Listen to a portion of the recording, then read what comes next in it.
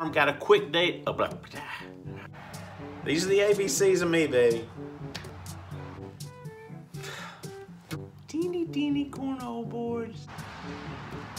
I can't even remember what I was talking about. A quick, uh, teeny, weeny, tiny update for you with a yada yada yada with a it was an itsy bitsy teeny weeny tiny cornhole board, believe me.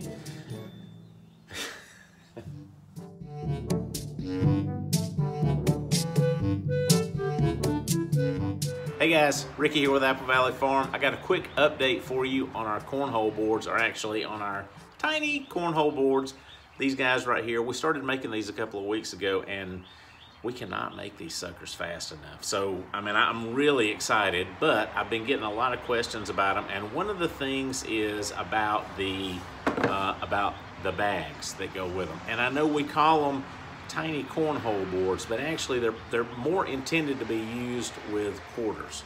And there's a whole set of rules, yada, yada, yada, but they're intended to be used with quarters. Now, there are people who make the little bitty tiny cornhole bags that you can use with these and we can get them for you, but we don't do that as a normal thing. Anyway, having said that, if you need the bags, we can get them. Just let me know. We'll kind of work it all out. I want to show you a couple of shots about how this works with the quarters so you will know and then when you get one of these you'll know how to play it. All right, here we go.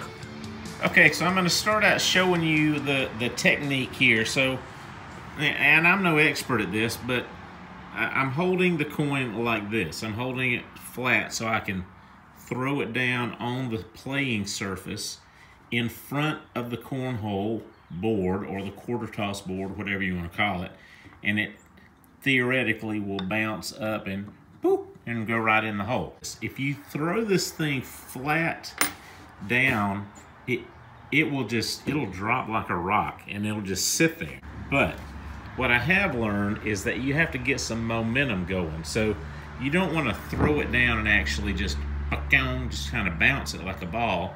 You want to get some momentum going and then you want to throw it from back here. See like this. See like that. So otherwise, you're going to do this. It's going to do nothing. See, and I'm getting better all the time, but I, I'm still like, I'm still like the world's worst.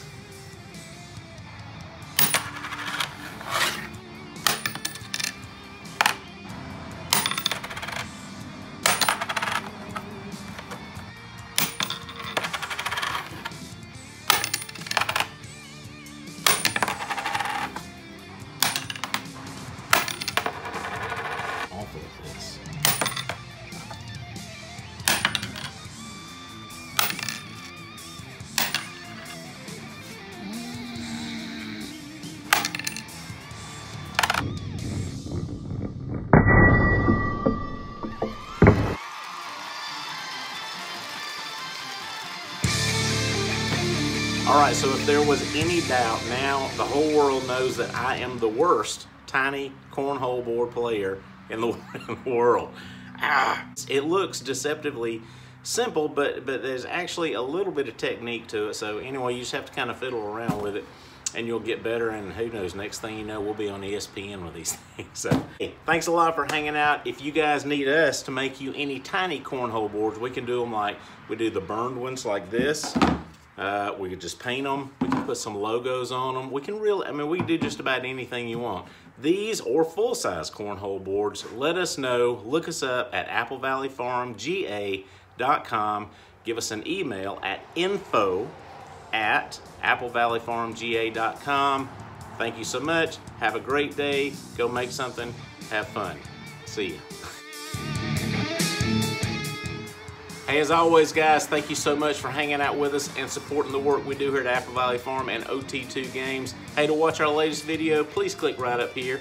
And to subscribe to our YouTube channel, which will absolutely change your life, be sure to click down here. Thank you. Have a great day. Go have fun.